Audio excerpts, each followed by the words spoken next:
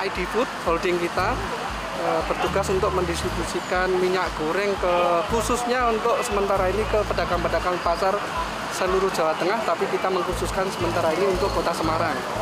Jadi per titik per, per, per pasar kita mendistribusikan rata-rata 300 sampai 450 karton. Jadi kurang lebih 5.400 liter. Jadi kita akan lakukan setiap hari pindah-pindah beberapa tempat tujuannya untuk agar minyak betul-betul ada di pasar sehingga masyarakat bisa menikmati bisa membeli minyak dengan harga terjangkau. Jadi dari kita menjual 13.500 diharapkan pedagang tidak boleh lebih menjual dari 14.000 per liter agar semua bisa menikmati dengan harga yang bisa terjangkau. Ya, uh, yang saya tahu alhamdulillah kita tidak sampai kemudian muncul kerumunan warga sampai harus impit-impitan untuk beli minyak goreng. Kenapa begitu?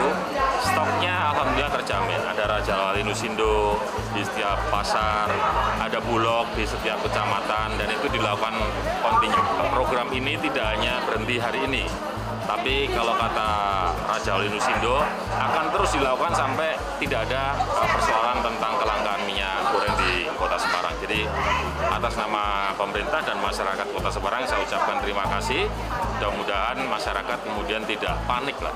Iya, kita mengalami dari tahun ke tahun yang namanya meremo. Nah, jadi kalau mau Ramadan, mau Lebaran, mau Natal tahun baru biasanya harga naik. Saya pesan saya pada para pedagang, ya meremonya jangan kebangetan. Kita ini lagi sama-sama susah menghadapi pandemi COVID. Mudah-mudahan mereka tetap bisa berjualan. Ya untung-untung dikit, tapi kalau mau meremo meremo dikit. Yang penting masyarakat kemudian mampu mempunyai daya beli untuk membeli produk.